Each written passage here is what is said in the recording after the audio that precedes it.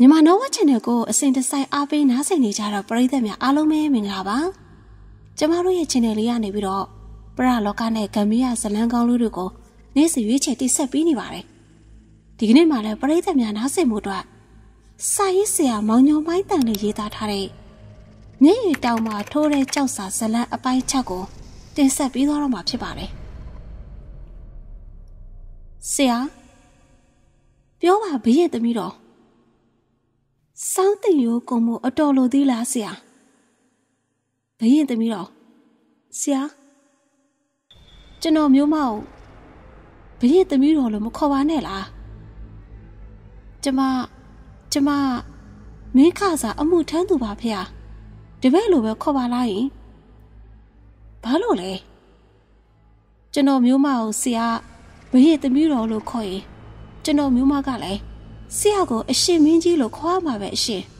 ။အိုးမခေါ်နဲ့ကျွန်ုပ်ကိုအရှင်မင်းကြီးလို့မခေါ်ပါနဲ့။တိရိရှင်နဲ့ကျွန်ုပ်တို့ဟာဆရာနဲ့တပည့်ပါ။ကောင်းပါပြီ။ကျွန်ုပ်တင့်ကိုတပည့်လို့ခေါ်ပါမယ်။ဖះကြုံမကလည်းဖះကြုံမလို့မပြောနဲ့လေ။ဟုတ်ဟုတ်ကဲ့။ကျမကလည်းဆရာလို့ခေါ်ပါမယ်ရှင်။ကောင်းပြီတပည့်။ အခုတပည့်ကိုတင်မေးထားတာကကျိုးတချင်းဘွဲတချင်းတချင်းခံများဖြစ်ပြီတယ်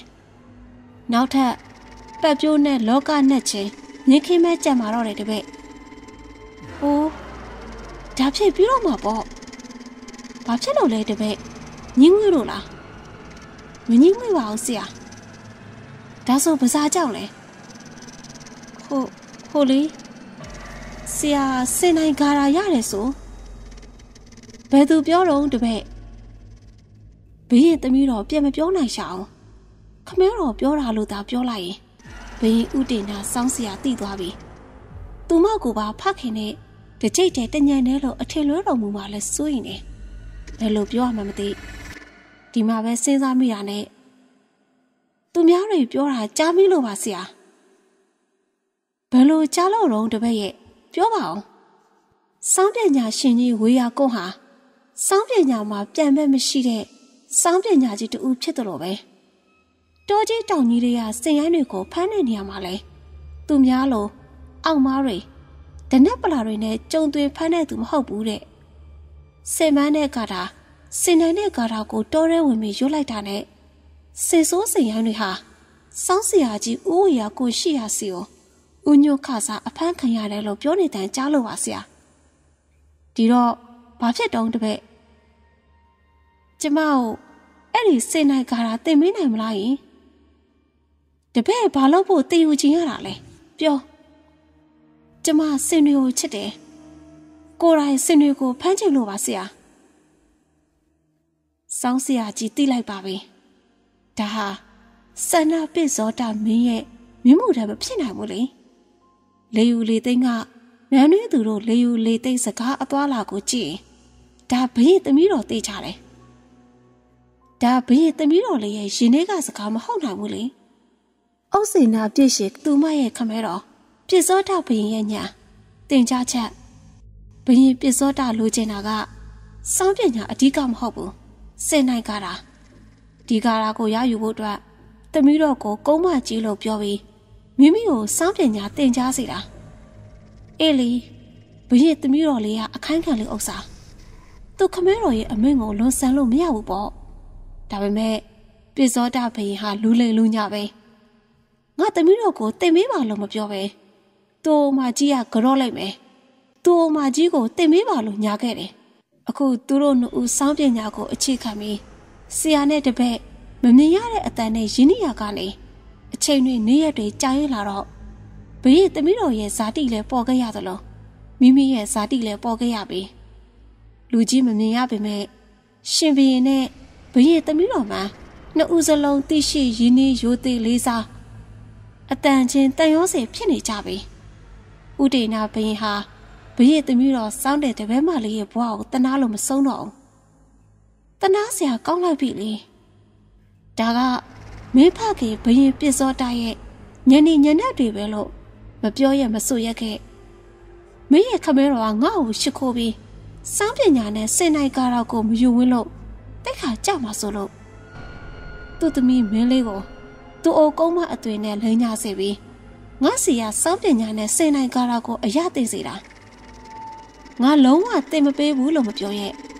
ရှင်တို့တော်ကမထွက်ရဲ့မိမိကိုလည်းကောတက်ပြီးပြည်ကလာမကဲ့ရဲ့ကြမိမိကိုကောတက်ပြီးပြည်က စင်တက်မြင့်တက်နဲ့လာခဲ့ကြရင်အရင်ဦးဆုံးမိမိကိုအစိုးစီရင်ပြမှာ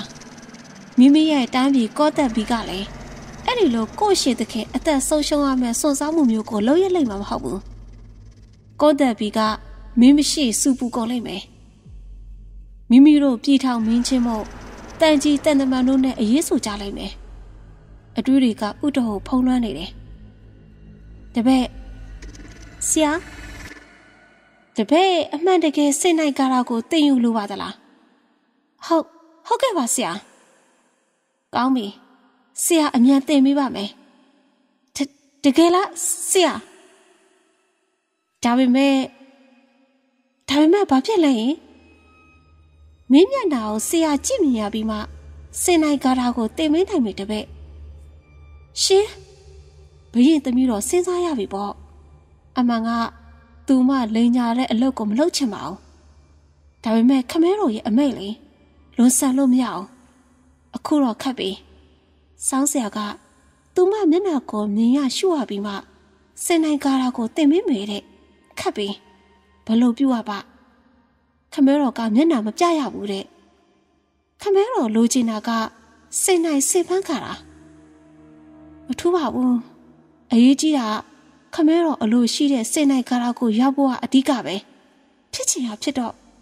ဘရင်သမီးတော်ဆုံးဖြတ်ချက်ချလိုက်တယ်ဆရာပြောပါတပည့်ပြောကျမတို့တွေးကြမယ်ဆရာဟင်တကယ်တကယ်လားယင်တပည့်တကယ်ပါဆရာစင်နိုင်ဂါရာကိုတင်မရမယ်နော်စိတ်ချပါတပည့်ဒါဆိုရင် ကလကာခုနလာတဲ့ကမှအလဲစတုထမြောက်ကလကာကိုဖွင့်ပြီးတွေးကြစို့ကောင်းပါပြီတပည့်ဆရာအခုပဲအလဲကဒုတိယမြောက်ကလကာရှိရကိုလာခဲ့ပါမယ်စောင်းစရာဘရင်ဥတီနာသူရှိရကလကာသုံးခုမှပြီးအလဲကောင်ကကလကအရှိမှထားလိုက်တယ်ဒီလိုပါပဲဘရင်သမီးတော်ကလည်းသူမရဲ့အရှိရကလကာကိုမှပြီးအလဲရကလကအရှိမှထားလိုက်တယ် နှစ်ဦးစလုံးရဲ့ရှင်တွေဟာလှိုင်မောတုန်ခါနေကြလေရဲ့ဘရင်သမီးတော်ခမရမှာလဲသစင်းယောက်ျားဆိုတူးနဲ့မှမျက်နှာချင်းမဆိုင်ဘူးလေသူမရဲ့အပြူရွှေရင်ဟာတတိတ်တိတ်ခုန်နေရှာတယ်ဘရင်ဥဒေနာကအလဲကလကအရှိမထနေကအတန်တိုးတိုးနဲ့မီးလိုက်လေရဲ့တပည့်ရောက်နေပြီလားယင်ဟုတ်ဟုတ်ကဲ့ ဆရာကလကမလိုက်မယ်နော်ဟုတ်စောင်းဆရာဘရင်ဥတီနာဟာတုံရင်နေတဲ့လက်နဲ့ကလကအောက်ခြေကိုအသာပင့်မပြီးကြည့်လိုက်ရောနှစ်ဦးစလုံးတပြိုင်နက်တည်းအမရိတန်တွေထွက်လာခဲ့တယ်တူးကိုတူးအံ့အံ့အော်အော်မျက်လုံးတွေနဲ့ငေးဆိုင်ကြည့်နေမိလက်သာဖြစ်သွားကြတယ်။ဘရင်ဥတီနာမြန်လိုက်ရတာကသူ့ရဲ့အရှိမရွှေသားရုပ်တွေဝင်းဖက်တက်စေ နုမို့ချော်မော်တွဲလာလွန်လာတဲ့ရွှေစီရုပ်ရှင်ကလေးဘရင်အလေးရောင်နဲ့မြင်လိုက်ရတဲ့ပြန်ဘက်ကင်းလုံးအချောစုလေးရင်ရင်တန်တန်ဝင်းဝင်းပြပြဘရင်သမီးတော်လေးဒီလိုပါပဲဘရင်သမီးတော်မြင်လိုက်ရတာကလည်းဘနူအရွယ်ပြည်တားငယ်လေးတရွှဲရွှဲနဲ့စောင်းစရာအိုကြီးမဟုတ်ဘူးလေအသက်အရွယ်အိုမင်းရင်ရော်တဲ့စောင်းစရာဘင်းကြီးမဟုတ်ဘူးသူမြင်လိုက်ရတာက အသားဖြူဖြူကိုလုံးတောင်းတောင်းနှက်ခတ်မွေးဆဆနဲ့ကြိခတ်ပေါ်ဝါကိုတေတက်စွာပေါင်းထားတဲ့ခက်ခက်ညာညာအရွယ်ကောင်းယောက်ျားသားတူအာအောသူလိုရှိနေတဲ့ဘရင်ဥဒေနာရဲ့ပြုံးဆဆမျက်နှာနှစ်လိုပွဲအပြုံးစားတွေကဆရာရဲ့နှက်ခမ်းပေါ်မှာတရွရွပြေးလွှားနေတာကိုဘရင်သမီးတော်မြင်လိုက်ရတယ်။သူမနားတစ်ဖက်ကစင်နေတောင်းနှစ်ခုရဲ့အလင်းကလည်းတစ်ချက်တစ်ချက်ဝင်းကနေလက်ခနဲ့ မင်းမင်းသမီးအရှင်မင်းမြတ်လှလိုက်ပါပဲမင်းသမီးရဲ့ကျွန်တော်မင်းသမီးကိုစောင်းတင်ညာတင်မရတာတန်မိုးရှိလိုက်ပါပဲဒီမြပဲကျင်းတဲ့တော်မူပါအရှင်မင်းမြတ်သူမကဆူဆူဆွန့်ဆွန့်အပြုံးလေးနဲ့ပြုံးရင်ကကလကကိုအသာဆွဲချလိုက်တယ်ဘရင်ဦးတေနာရဲ့ရင်ထဲမှာတော့ရွှေသားရုပ်တွေညွန့်လေရှိုးဆိုတဲ့ အလှငွေရမင်းရဲ့ရုပ်တွေကဆွဲမြဲခိုင်ကြီးထင်ကျရစ်ခဲ့ပါတယ်ကိုသေးနန်းကလိုက်ကကြားမှာမှုပြတ်သေးထုံနေစေဘယ်အရာဝတ္ထုနဲ့မှဖြတ်လို့မပြတ်နိုင်တဲ့ဆွဲထင်မှုမျိုးပါရေနဲ့စေးမီးနဲ့တိုက်လေပြင်းနဲ့ရိုက်လဲပျောက်ပြက်လွင့်ဆွေကျွမ်းလောင်ပျောက်ပြက်ခြင်းအလင်းမရှိတဲ့ဆွဲထည်ခြင်းမျိုးပါမျက်လုံးအိမ်ထဲမှာအစင်ထာဝရပြုံးဆဆလေးထိုင်နေလက်သားပါမိမိရဲ့နှလုံးအိမ်မှာ မနှွမ်းမသွေးမပုတ်မပဲ့မရွ့မရိုင်ထိုင်နေတဲ့အပြုံးရှင်ပါ။အိုးဘရင်သမီးတော်ရွှေစီနုမြင့်လာဝင်းသိလေရဲ့ငါရဲ့ရင်ထဲမှာမင်းရဲ့အပြုံးနဲ့ရိတ်လေအမြဲထာဝစီစိန်လန်းဖူးပွင့်နေမှာပါဘရင်သမီးတော်အဲ့ဒီလိုပါပဲဘရင်သမီးတော်ရဲ့ရွှေသမီးမမျက်လုံးအိမ်မှာလဲခက်ခက်ညာညာဖြူဖြူတောက်တောက်ပြုံးတုံအံ့ဩရှိနေတဲ့ အရှိဥဒေနာရဲ့ယောက်ျားပိသားရုပ်တွေဆွဲထင်နေတယ်ဘရင်သမီးတော်ရဲ့ရွှေရင်ဟာတလက်လက်ဖြစ်နေတယ်။စောင်းကျိုးပေါ်ကိုလက်ညှိုးတင်ထားပေမဲ့လက်ညှိုးတင်ကြီးပေမဲ့လက်ညှိုးဟာစောင်းကျိုးတုံခါတာမျိုးလိုတုံခါနေတယ်။ဘရင်ဥတေနာရဲ့ခန့်ညာရုပ်သွင်ကစောင်းကျိုးပေါ်မှာထိုင်ပြီးပြုံးလို့အိုးအရှင်မင်းမြတ်ရဲ့ကျွန်တော်မျိုးမရင်ဖို့ရပါရော သူတို့နှစ်ဦးရဲ့စောင်းတန်တွေဟာစောင်းတင်ကမ်းမာတဲ့ကနေဗရင်းတကားပေါက်ကိုခုံကျော်လို့နန်းတော်အိရိယာထဲမှာကခုံလွှင့်ပြန်နေပါတယ်။စောင်းတန်တွေဟာမြူတူရှင်ပြလန်းကြွလို့ပြစသေးကနတ်သားရဲ့စောင်းတန်ဒဝစ်ရာရဲ့အလှအဖွဲသူရိယဝစ်ဆက်သားနတ်သမီးရဲ့အလှအဖွဲဘယ်စောင်းတန်ကဘရင်သမီးတော်ရဲ့စောင်းတန်ပါဘယ်စောင်းတန်ကဘရင်ဥဒိနာရဲ့စောင်းတန်ပါလို့ခွဲခြားရခတ်နေကြတယ်။ စောင်းတန်တစ်ခုရဲ့အပြာလက်တန်ကပြင်စသင်္ကနတ်သားနှစ်ဦးဘေးလူဝနှစ်ဆောင်ကိုအပြိုင်တိခတ်နေတယ်လို့ဖြစ်နေတယ်။ဒါနဲ့အတူဘရင်သမီးတော်နဲ့ဘရင်ဥဒိနာတို့နှစ်ဦးလုံးပါလဲသူတို့ဘဝအစ်စ်ဘဝအမှန်ကိုတည်သွားကြပြီးတဲ့နောက်စောင်းတရင်ချစ်သူတွေဘဝကိုရောက်သွားကြပါတော့တယ်။သူတို့နှစ်ဦးရဲ့အချစ်နဲ့မေတ္တာဟာမြေခုနှစ်စင်ချလို့မရတဲ့အချစ်ပါ။ဓာခုနှစ်လက်လက်ခုနှစ်ချောင်း မြားခုနှစ်စင်တားလို့မရတဲ့အချစ်ကိုရောက်ရှိသွားခဲ့ကြပါပြီ။ဘရင်သမီးတော်ရဲ့တမှုရိယပါပြင်ပေါ်မှာဘရင်ဥဒိနာရဲ့အယူအယအနမ်းတွေရှင်းတန်းဖူးပွင့်နေတယ်။ဘရင်သမီးတော်ရဲ့ဖျောင်းသားလိုနူးညံ့ပျော့ပြောင်းတဲ့လက်အစုံနဲ့ဖတ်ထားတဲ့အရာသာကိုဘရင်ဥဒိနာတရှိုက်မမတ်ဖြစ်နေတယ်။အပြိုစီရေဖိုးတာမတန်းဘူးတဲ့ဘရင်သမီးတော်ရဲ့ရင်ထဲမှာတော့အချစ်တီသာကိုးကွယ်ရာအချစ်တီသာအားထားရာ အချစ်တီတတိအချစ်တီခွန်အားဖြစ်နေပါပြီ။ဒါနဲ့တူအုပ်စိနာပြည့်ရှည်ခမဲတော်ဘယင်ပြည့်စောတာမင်းကလည်းတမီးနဲ့မင်းနေပြီစင်နိုင်ကားမရသေးဘူးလားတဲ့စင်နိုင်ကားတော့ကိုမသိမေးရင်စားတဲ့နဲ့အလုတ်ကိုရက်လိုက်တော့မယ်တဲ့ဘယင်ဥဒေနာကိုလည်း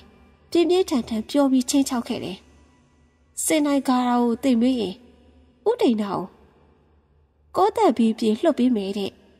စင်နိုင်ကားတော့ကို၃ရက်အတွင်းသိမပေးရင်အဆုံးစင်ရင်မယ်တဲ့သမီးတော်ကိုလည်းစောင်းပညာသင်ခွင့်မပေးတော့ဘူး။ဦးဒေနာကလည်းနောက်ဆုံးပြောရတော့တာပေါ့။သူလည်းအသက်နဲ့အောင်ချစ်ရတဲ့ချစ်သူဘေးရဲ့သမီးတော်လေးကိုတနေ့မမြင်ရရင်မနေနိုင်ဘူးလေ။ကောင်းပါပြီဘရင်ပစ္စောတာမနေ့ပြန်ကစလို့သုံးရက်အတွင်းဆယ်နိုင်ကားတာကိုကျွန်ုပ်တင် जा ပေးပါမယ်။ဒီလိုနဲ့အဆောင်အကျက်တွေတိုးချပြီး ဆယ်နိုင်ကားတာကိုတင်မှုစီစဉ်ရတော့တယ်။အဆောင်တချို့ကလည်းဘရင်သမီးတော်ကိုချစ်ခင်လေးစားတဲ့သူတွေဆိုတော့ဘရင်သမီးတော်ကိုတနာကြတယ်။တိတ်ပြီးအနီးကပ်စောင့်မကြည့်ကြပါအောင်။ဒီလိုနဲ့ချစ်သူနှစ်ဦးကလကားကြားမှာပြန်တွေ့ရောတညဝေးတော်ကိုတော်မှနှစ်ပေါင်း900လွမ်းကျဆွေးကြတဲ့စန္ဒကင်ရီမောင်းနှံလုံးမျက်ရည်ကျလို့မဆုံးအနမ်းမိုးတွေရွာလို့မဆုံးမင်းသမီး ဒီအတိုင်းဆိုရင်မောင်ကြီးတို့ခွဲခြားရတော့မဟဲကွခွဲလို့ကွဲလို့မဖြစ်ဘူးရှင်မင်းရဲ့ခမဲတော်ဟာစင်နိုင်ကားရရပြီးရင်လည်းကြောက်ကိုပြန်လို့မှာမဟုတ်ဘူးမင်းနဲ့လည်းထိမ်းမြပေးမှာမဟုတ်ဘူးဘရင်သမီးတော်ဒါဒါဆိုဘယ်လိုလုပ်ကြမလို့မောင်တို့အရှင်တို့ညအခါစိတ်နဲ့ထွက်ပြေးကြမယ်မင်းသမီးဖြစ်ပါမလားဟမ် မင်းရဲ့ဖခမဲတော်ရဲ့စင်တေးကုန်းမှာအမြန်ပြေးသွားနိုင်တဲ့စိတ်ရှိရင်မဟုတ်လားရှိပါတယ်မောင်တော်ဗတ္တဝရီစင်မဆိုတာအမြန်ဆုံးပြေးသွားနိုင်တဲ့စင်မပါပဲအရှင်ကောင်းပြီမောင်တော်စုံစမ်းလေ့လာလိုက်မယ်အစင်သိရင်မနေ့ပြန်ညမှာမောင်တော်ရဲ့တန်းပြည်ရအောင်မောင်တော်တို့စင်နဲ့ပြေးကြမယ်နှမတော်လွတ်ပါမလားမောင်တော်လွတ်ပါတယ်စိုးရင်တော့မမူပါနဲ့နှမတော် ဥဒိနာဘယင်းကလည်းဆန္ဒပစ္စောတမင်းရဲ့သုံးပန်းဘွားရောက်ပါပြီမဲ့လုံုံကြီးအဆောင်တို့နဲ့အကျဲချုပ်သဘောမျိုးထားထားတော့ရသမျှအချိန်တိုင်းအဆောင်တွေကိုရင်းနှီးအောင်ပေါင်းသိနေသူရတဲ့ပွဲတော်စားတွေကတချို့ကိုဖဲ့ဝေကျွေးတယ်ဒီတော့လုံုံကြီးအဆောင်တွေကဥဒိနာဘရင်တုံမန်းကိုတနာကြတာပေါ့ဥဒိနာဘရင်ဟာစစ်တိုက်လို့တိုက်ပွဲမှာလက်ရဖမ်းမိတဲ့ဘရင်တုံမန်းလည်းမဟုတ်ဘူးသူတို့အရှင်ဆန္ဒပစ္စောတာမင်းက ဥဒိနာတူပဲကြားမင်းချီးမြှင့်လို့ရတဲ့စိတ်နိုင်ကားတော့ကိုလိုချင်လို့တောထဲမှာစင်တူးနဲ့ဖျားရောက်ပြီးမတမာစိတ်နဲ့လက်ရဖမ်းခဲ့တာသူတို့အမြင်မျက်စိရှင်းမောက်မှာတော့ဥဒိနာတုံမန်းဘရင်ဟာစောင်းပညာကိုပြန်မဲ့မရှိတီးခတ်နိုင်တယ်သူ့ရဲ့စောင်းကိုဘလို့စောင်းပညာရှင်းမှတီးခတ်လို့မရအောင်တခြားဒဇိန်တီးခတ်ရင်လည်းအတန်မလအတန်လုံးဝမထွက်ဥဒိနာကိုတော်တိုင်းတီးခတ်မှသာ ငိမ်ချောင်းตาရနားဝင်ပြရရှိတဲ့စောင်းတံဒေါသမီးကိုငိမ့်စီတဲ့စောင်းတံတောကကိုပြည်စီတဲ့စောင်းတံချစ်ချင်းကျင့်နာခြင်းတနာခြင်းကိုဖြစ်စေတဲ့စောင်းတံပေါ်လွင်အောင်တိတ်ညွတ်ရင်မှုအောင်တီးခတ်နိုင်တဲ့စောင်းတံလက်စောင်းတံကိုဖန်တီးသူအမှုပညာရှင်ဒါကြောင့်မို့လို့လဲအဆောင်တွေကဘရင်ဥဒိနာကိုတနာပြီးစကားပြောကြတယ်ဥဒိနာမင်းသမ ्या ကိုလည်းဖြေချပေးကြတယ်ဒီလိုနဲ့ ဆန္ဒပိဇောတမင်းကြောင့်တီးခွင့်ရလာခဲ့တယ်ဆန္ဒပိဇောတမင်းမှာထူးခြားတဲ့ရင်၅ပါးရှိတယ်တဲ့အဲ့ဒါတွေကတော့၁ယူဇနာ90ရှိသောခရီးကိုနေချင်းအရောက်သွားနိုင်တဲ့ဗတ္တဝရီစေမတစီ၂ယူဇနာ100ရှိသောခရီးကိုနေချင်းအရောက်သွားနိုင်တဲ့နာနာဂီရီစင်ပြောင်းတစီ၃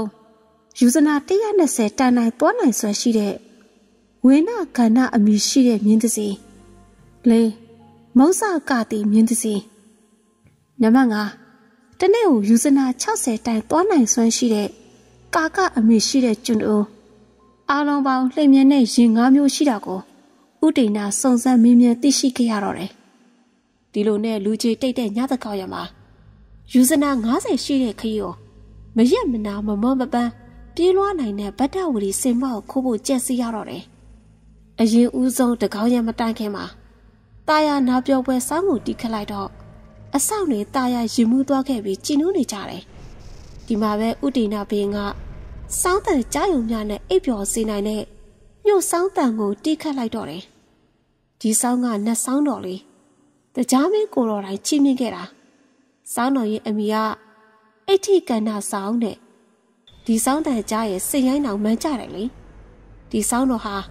မွေးရင်ယူဝေးတဲ့ဂီတတန်ကိုလည်းပေးနိုင်စွမ်းရှိတော့ဥဒိနာမင်းရဲ့မကြစဘူးထူချတဲ့စောင်းတန်ကိုကြားရပြီးတဲ့နောက်မှာအဆောင်တွေဟာမိန်မောအိပ်ပျော်သွားခဲ့ကြတယ်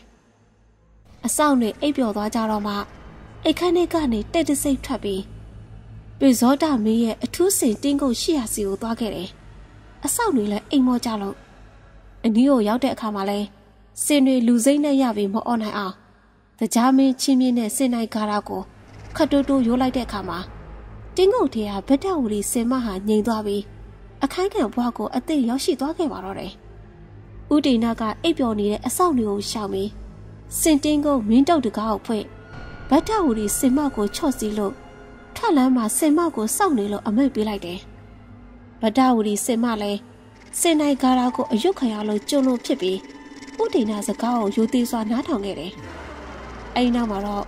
ဘေးရည်သမီးတော်အဆောင်နီးကိုအဆောင်လျှောက်တွေမသိအောင်ပုံးကွယ်ခုံလွှာဝင်လိုက်ပြီး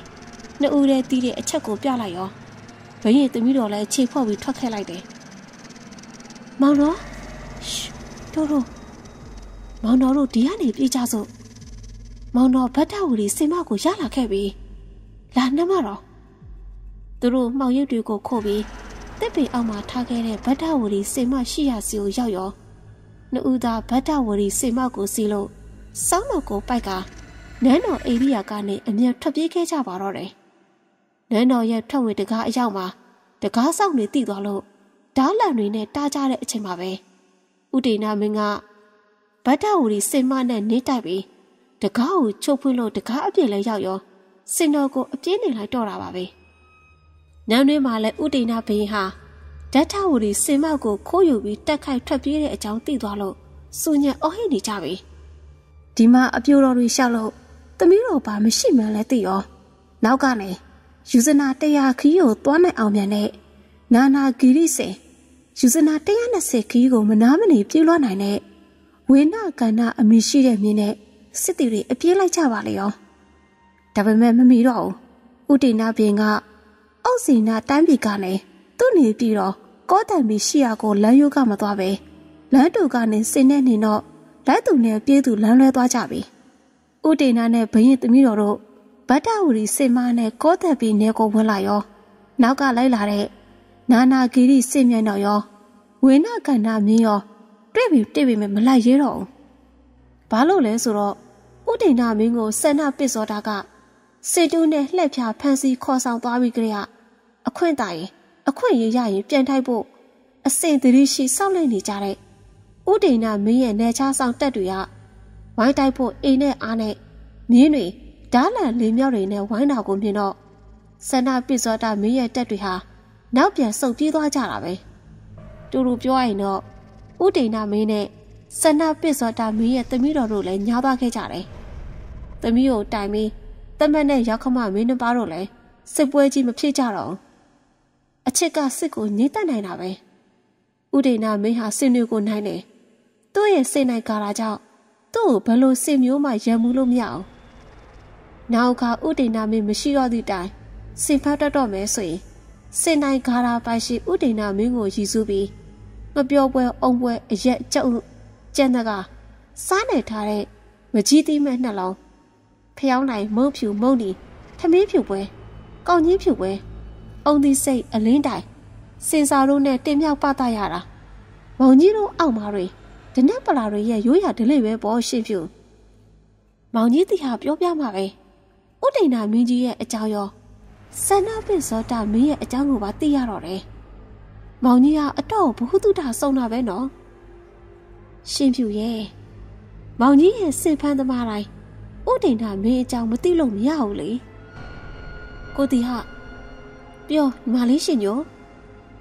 ဆန္ဒပဲ့စောတာမင်းရလဲစင်မြန်စင်ကောင်းတွေပိုင်းနဲ့မင်းမဲတော်အကိုဟုတ်တယ်ညီမလေးရဲ့ဆန္ဒပဲ့စောတာမင်းရလဲပေါ့ပေါ့တည်တည်မင်းမဟုတ်ဘူးဗျအတော်ထူးခြားတယ်မင်းပဲဗျ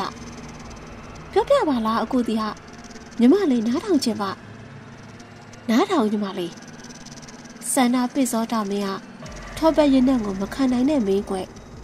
အဲ့ဒီထောပတ်နှမ်းကြောင့်မင်း တမားတော်ဆရာဇီဝကကံကားတော့မသိရတာဗျာဟုတ်လားဆရာဇီဝကဆိုတာမြတ်စွာဘုရားကိုယ်တော်စေကုသပြီးတယ်ဆိုတဲ့ဇီဝကလာရင်မောင်ကြီးဟုတ်တယ်ရှင်မျိုးအကိုပြောညီမလေးဆန္ဒပစ်စောတာမင်းကဘာလို့ထောပတ်အနှံ့ကိုကြောက်ရတာလဲဟင်อืมသူ့ရဲ့ဘဝကလည်းအော်အော်ဆရာတွေနဲ့ပဲညီမလေးရဲ့ဆန္ဒပစ္စောတာမင်းကိုတရီတရတာကလည်း သူ့မိခင်ကကင်မီကောက်ကိုဆွဲလန်းပြီးတရီတရတာတဲ့ဘယ်လိုကင်မီကောက်ကိုဆွဲလန်းပြီးတရီတရတာလဲရင်မောင်ကြီးဆန္ဒပစ္စောတာမင်းရဲ့မဲတော်ဆက်တော်ခေါ်ဖို့ပြုချင်မှာ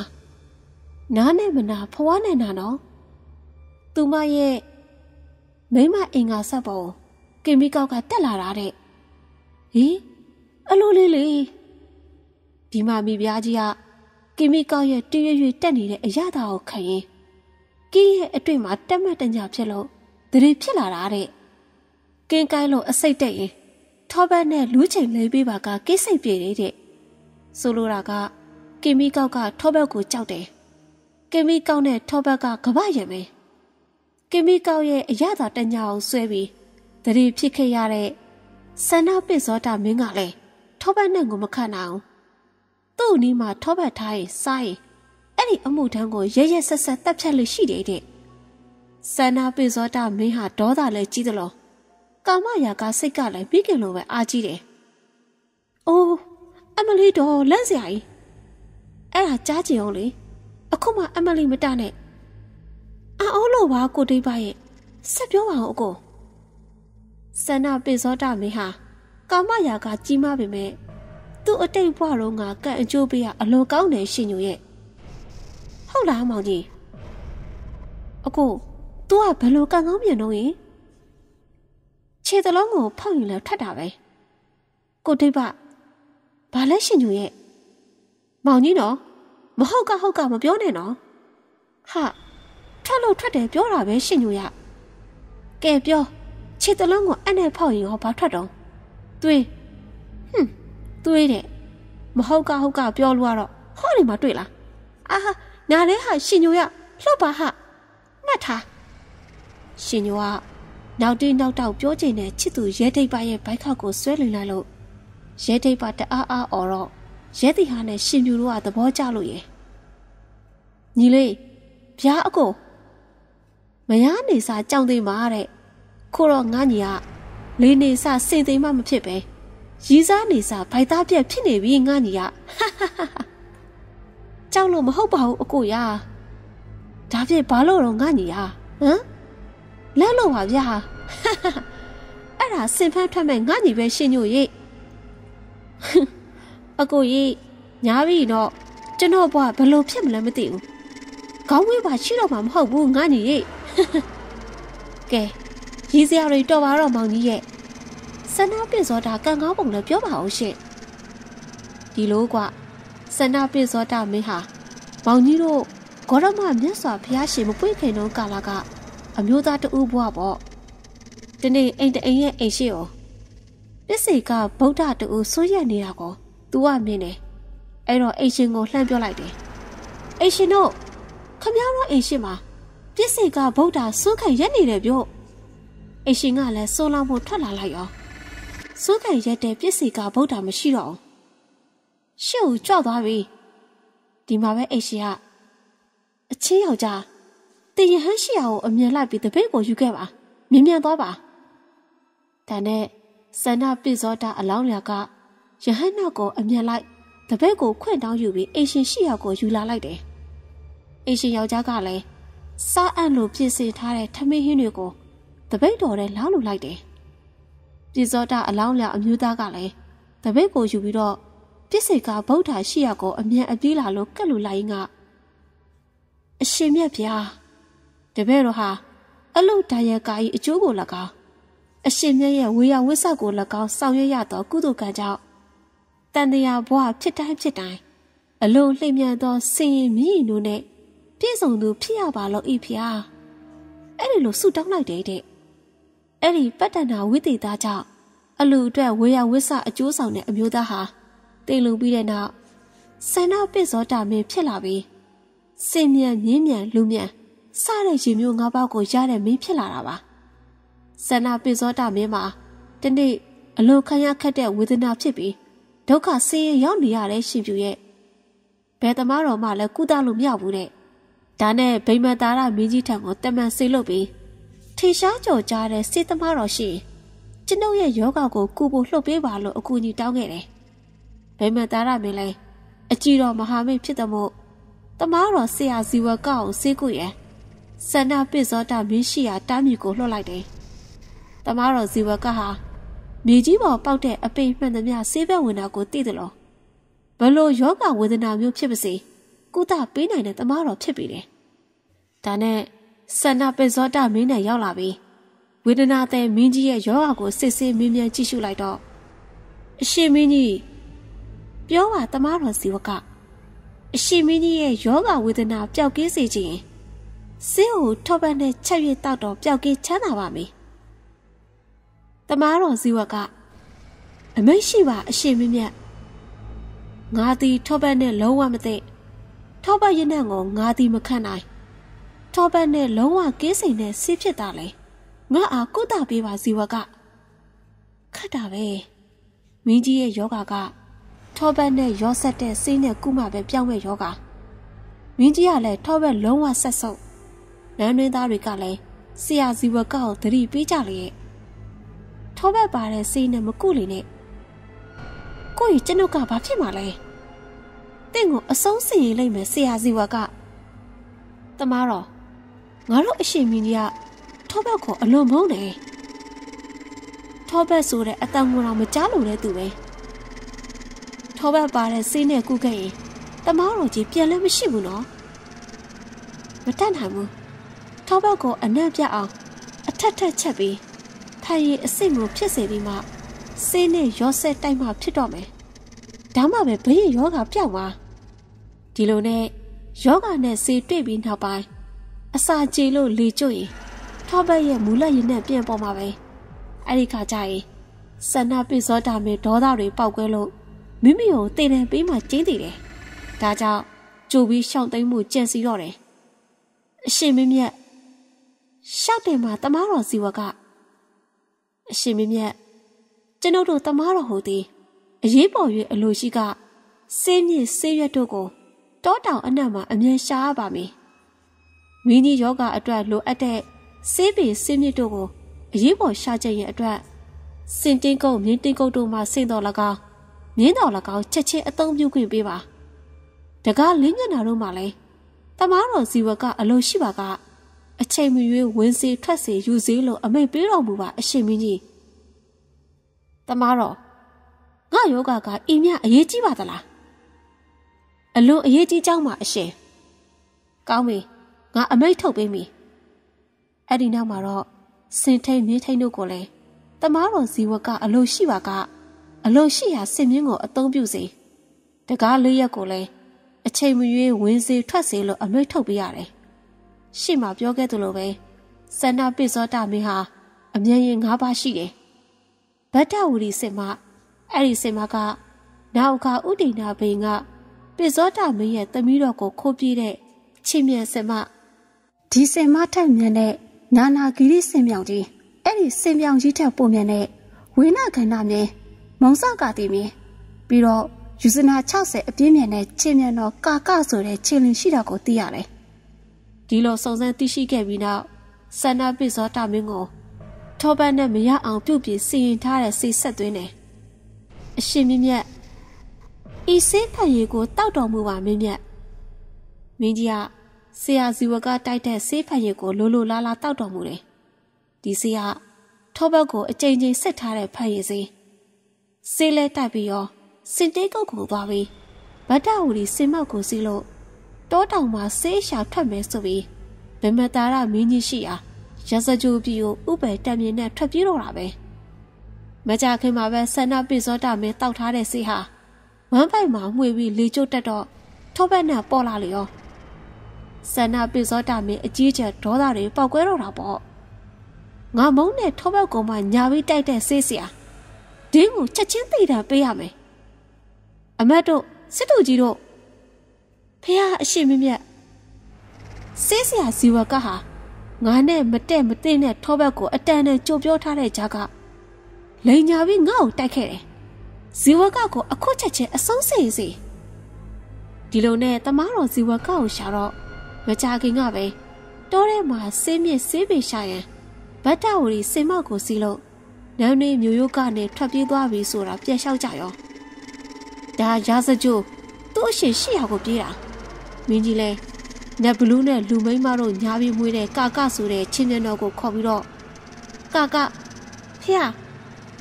တမားတော်ဇီဝကဟာဗတ္တဝရီစိတ်မကိုစီးပြီးရာဇကြိုးကိုပြေးပြီးတိမ်အမြန်လိုက်ပြီးငါရဲ့အမိန့်နဲ့ဇီဝကကိုခေါ်ချင်နှမအရှင်မောင်မင်းမောင်မင်းစင်ကြီးရမှာက ဆေးစရာဆိုတာအလွန်ညံ့များတယ်ကကမှန်ပါမင်းမြတ်ဇီဝကစားဝယ်တစ်ခုခုကိုကြွေးမောင်မင်းလုံးဝမစားနိုင်နဲ့အမိန်တော်အတိုင်းသတိရှိပါမယ်အရှင်ဒီလိုနဲ့ယူဇနာ90ခီးကိုမရက်မနာပြေးနိုင်တဲ့ချင်းမြန်တော်လူဘလူသားကကနောက်ကနေလိုက်လာတာကောတန်ပြီးပြီမှခဏနာပြီးထမင်းစားဖို့ပြည်နေတဲ့ဇီဝကကိုမိရောအနည်းမှာဗတ္တဝရီစင်မလည်းရှိတယ်ဆရာဇီဝက ငါ့ကိုမင်းကြီးကတင့်ကိုပြန်ခေါ်ခဲ့ရမယ်လို့အမိန့်တော်ပါလိုက်တယ်အခုပြန်လိုက်ခဲ့ပါဆရာအေးလိုက်တာပေါ့ငါထမင်းစားလိုက်ပါအောင်မယ်တင်လဲငါနဲ့အတူဝင်စားပါကကငါလုံးဝမစားပါဘူးတင့်အောင်စောင့်ပြီးခေါ်မြင်ဆေးစရာမင်းကြီးကမှားထားတာကိုဇီဝကကြွေရင်ဘာမှမစားနဲ့လို့ဒီမှာဆရာဇီဝကကထမင်းစားပြီးရှားသည့်တလုံးကိုဓာတ်နဲ့ခွဲတချမ်းကိုစားဖို့စားတယ်လို့ပြုရင် လက်ကလေးလက်သေးကြမှာလျှို့ဝှက်စွာထည့်ထားတဲ့စေးတစောင်းကျန်တဲ့တချမ်းမှာတော့ခတ်တီတီထဲလို့ချင်းညံတော်ကာကကိုကျွေးတယ်ဆရာဇီဝကကလည်းတချမ်းကိုစားပြတယ်ကာကကလည်းဆရာဇီဝကကတော့တချမ်းစားတာဘာမှမဖြစ်ဘူးသူပေးတဲ့တချမ်းငါစားရင်ဖြစ်တာပဲဆိုပြီးစားလုံးလုံးစားလိုက်တယ်ဒီမှာပဲဗိုက်ထိတ်ကနေရစ်အောင်နာလာပြီးဝမ်းတွေသွားပါလေရောဆရာဇီဝကကရှားသည့်တစ်ချက်မှဝမ်းသွားစေတဲ့ဆေးကို စားတော့တယ်လို့ပြုတ်ပြီးပြူစားလိုက်တာကိုဒီပညာလက်လက်ကိုမသိနားမလဲတော့ယုံကြည်ပြီးစားတော့ခံလိုက်ရပြီချင်းမြန်တော်ကာကဝမ်းသွားလိုက်တာမတက်တောင်မထနိုင်တော့ဘူးသူခံလိုက်ရတာကိုလည်းအခုမှသိလိုက်ပြီတေးရမှာကိုအရက်ကြောက်နေပြီဆရာငါငါ့ကိုကဲပါငါမသိပြစေနဲ့မကြောက်ပါနဲ့ကာကသိဝေဒနာပြောက်ရင်ငါဆေးပေးမယ်ဒါပေမဲ့ ဆန္ဒပိစောတမင်းရှိရစီကိုငါမလိုက်နိုင်အောင်ငါထောပတ်နဲ့ဆေးကူတာကိုသိပြီးဖြစ်တာနဲ့ငါလိုက်ခဲ့လေငါ့ကိုမင်းကြီးကတတ်လိုက်မယ်ရော့ဟောဒီဆေးကိုတောက်ပြီးဗတ္တဝူရီစေမောက်ကိုယူကတိတ်မြန်တော့အရီနာကိုဝမ်းရက်ဆေးကိုပေးပြီးရာဇကြိုးပြည်ကိုဝင်လို့ဗမတာရမင်းကြီးကိုအကျိုးချအစုံတင်လျှောက်လိုက်တယ်ဇီဝကတင်ညံကောင်းလို့သာအသက်ရှင်ပြီတယ် ဆန္ဒပစ္စောတမင်းဟာရက်ဆက်ကြက်ကြောက်တဲ့မင်းပဲတင့်ကိုတက်ဖြတ်ညှင်းဆဲမှာအေကံမဲဇီဝကကံကောင်းချင်တော့ဆန္ဒပစ္စောတမင်းရဲ့ကာလရှည်ကြာခံစားနေရတဲ့ဝေဒနာဟာဆရာဇီဝကတိုက်ခဲ့တဲ့ထောပတ်စီအစွမ်းကြောင့်မကြခင်ပျောက်ကင်းချမ်းသာသွားခဲ့ပြီးနောင်တရခဲ့မိတော့တယ်ဇီဝကကျေးဇူးကြီးမှန်းတော်မှန်းသိပြီးတမန်လှုပ်လို့ချင်းမြင်လာခဲ့ပါလို့ဖိတ်ခေါ်တယ်ဆရာဇီဝက ဆရာအားငါပူဇော်လို့တယ်ငါယောဂပျောက်ကင်းချမ်းသာပါပြီဆရာလိုက်ခဲ့ပါတဲ့ပြောလိုက်ပါတမန်တို့အရှင်မင်းကြီးကျွန်ုပ်ရဲ့ကျေးဇူးကိုသာအောက်မေ့တော်မူပါကျွန်ုပ်မလာနိုင်ပြီစန္ဒပိစောတာမင်းလဲဆရာဇီဝကမလိုက်ရမှန်းသိတယ်ကျေးဇူးပြုတဲ့အနေနဲ့တီဝင်းရစ်တိုင်းပြည်ပစိုးကောင်တမိုးကြီးတဲ့ဆောင်ကိုဆရာဇီဝကထံပို့လိုက်တယ်ဆရာဇီဝကကလည်း တမိုးအသက်ပြတိတ်ထိုက်ကြီးမားလို့တဲ့ပစိုးကိုကြည့်ပြီးအီမြအဖိုးထိုက်ပြီးကောင်းမွန်လာတဲ့ပစိုးကိုငါမဝိထိုက်ငါရဲ့ဘိုးတော်ကျေးဇူးရှင်ဘုရင်ဗိမတာရမင်းကြီးနဲ့ဖះသခင်မတပါတခြားသူတို့နဲ့လည်းမထိုက်တန်ပြီးတော့ကြောက်ရွက်ကမြင်းပြတ်တဲ့နေရာမှာတင်းစီထားလိုက်လေတဲ့တဲ့။ကဲစန္ဒပိဇောတမင်းရဲ့အကြောင်းကိုသိကြပြီမဟုတ်လား။မောင်ကြီးတွေကဘာသိချင်တာတော့ရှင်းပြ။မောင်ကြီးက အောက်မဆိုတဲ့အတိုင်းစင်နဲ့ပတ်သက်တဲ့ဥဒိဏဘရင်အကြောင်းရောဥဒိဏဘရင်နဲ့ပတ်သက်တဲ့စန္ဒပိဇောတဘရင်အကြောင်းရောစစ်စစ်ဆက်ဆက်ပြောပြနိုင်အောင်ဘ ഹു တုတကြွေးဝတာပဲနော်အမဘာလို့မောင်လေးတိတ်ပအမကတစ်ဖက်သက်ကြီးချီးကျူးနေတာပဲဟိုအမရဲ့ဟဲ့မောင်လေးရဲ့အမကဘယ်လိုတစ်ဖက်သက်များချီးကျူးလို့ပါလိမ့်ပြောပါဦးငါမောင်ရဲ့ရှင်ဖြူကလည်း ညီမငယ်ရှင်ညူရဲ့ချစ်သူလည်းဖြစ်ကိုချစ်သူရဲတီဟာရဲ့အချစ်ဆုံးညီလည်းဖြစ်တဲ့မတ်တော်လောင်းလေးရဲတိတ်ပကိုမောင်လေးအရင်လိုချစ်ခင်ရတာကိုအမအကိုရဲစီဟာကိုပဲတော်တယ်တက်တယ်ဘ ഹു တုတကျွဲဝတာပါလို့ချီကျူးနေတော့သူ့ညီကျွန်တော်ဟာဖွက်ချဖြစ်မသွားတော့ဘူးလားဒါတော့ဟုတ်တယ်အမအမြင့်မြတ်တတမချီကျူးဘူးအမချစ်သူအကိုရဲစီဟာကိုပဲချီကျူးနေတော့ ကျမချစ်သူကိုဒိတ်ပါကဘလို့နေမလို့မောင်လေးဒိတ်ပါဗျအမေအတန်အဗျတယ်စောင့်နေအောင်နေနဲ့ငါမက်ကလေးမောင်လေးကလည်းတော်ပါရဲ့တော့အမဘာလို့ရှင်ညိုကိုတိတ်ပါဘာတော်တာတော့ရှင်းအောင်ပြောပါအောင်ငါမက်ကလေးကစင်ဖန်းတဲ့နေရာမှာအလွန်ရဲရဲနာတဲ့တခါပုတ်ပါပတ်မှာဆင်လိုက်ရင်ကြားစိုးနဲ့တိုးတာ ကြားကိုအောင်မစိန်မောကနေရက်ပြီးလှက်ရှင်နဲ့ပြစ်တာကြားစိုးစစ်စစ်သိတဲ့ဒါကြောင့်အောင်မစိန်ဖန်းဖွဲ့မှာကိုရဲတီဟာရဲ့ညီမောင်ရဲ့ဒိဗ္ဗပါရင်ကြားကိုရောတစ်စိန်ရောကြောက်စရာမလိုဘူးလို့ဂုံယူနေကြတာတဲ့ဟုတ်လားဟုတ်တယ်ရှင်ညိုအမဘာလို့မောင်လေးအမပြောတာမဟုတ်လို့လားယင်အမကိုဒီအကြောင်းဘယ်သူပြောရလဲယင်အဲအဲ အကိုတီဟာပြောပြတာလားမဟုတ်ဘူးမောင်လေးဒါဖြစ်ဘယ်သူပြောတာတော့အမစင်မူကြီးဦးထော်ပြောပြလို့အမသိရတာဒီတော့မှငါမောင်လေးမက်ကလေးရဲရဲလိုက်တာတက်တိရှိလိုက်တာငါညမလေးအတွက်အားကိုးရတဲ့လင်းသားယောက်ျားကောင်းဖြစ်ပြီးဟဲ့လို့ကြိတ်ပြီးဝမ်းသာနေတာပါမောင်လေးရဲ့ဟင်ဟုတ်လားကိုဒိတ်ပဘာလဲရှင်ညို ဒီအကြောင်းကျမကိုဘာလို့ပြောမပြတာလဲယင်ဟိုဟိုမကြွားချင်လို့ပါရှင်ညိုကျမကိုမယုံမဆိုးလို့ပေါ့ဟုတ်လားကဲကဲမရှင်ညိုရောအမရှင်ဖြူရောကျွန်တော်အရှုံးပေးပါပြီဗျာမှားပါတယ်ကျွန်တော်မျိုးမှားပါတယ်ဒေါ်ညိုဒါကြောင့်မင်းကိုပြောတာပေါ့မရနေစားကြောင်သိမ်မရီးစားဖြစ်စားမိသိမ်မတယ်ကွာကဲကဲ နက်ဖြန်မောင်ကြီးတို့လည်းစင်ဖက်ထွက်ရတော့မယ်ရှင်ဖြူတို့လည်းစွမှုကောင်းများတောင်းကြပါအောင်နော်မောင်ကြီးရှင်ဖြူမောင်ကြီးတို့စင်ဖက်ထွက်တာဘယ်နည်းကြမှာလဲဟုတ်တယ်အကိုတို့မောင်ကြီးတိတ်ပေါတော့ဘယ်နည်းကြမှာတော့ယင်ပြောလို့မရဘူးရှင်ဖြူနဲ့ရှင်ညိုရဲ့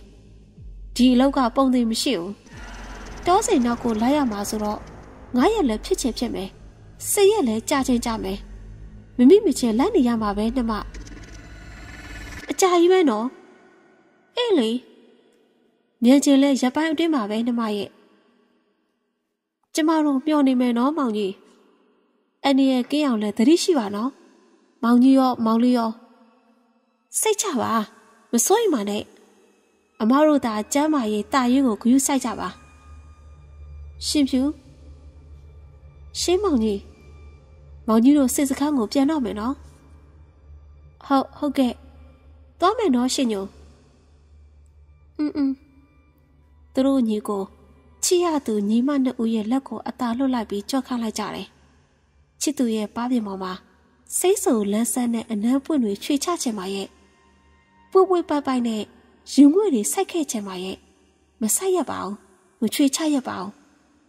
မဆိုင်မချွေဝတ်ပါဘူးလေဘာကြောင့်လဲဆိုတော့ လက်ဖြံမိုးတောက်ရင်သူတို့စင်ဖြူတော့အဖက်ထွက်ရတော့မယ်သူတို့ကအောက်မအဖွဲလေအောက်မတွေစင်ဖန်းထွက်မယ်ဆိုရင်စီးဆောင်စင်ကျင်ရတဲ့ရိုးရာဒလိတွေရှိတယ်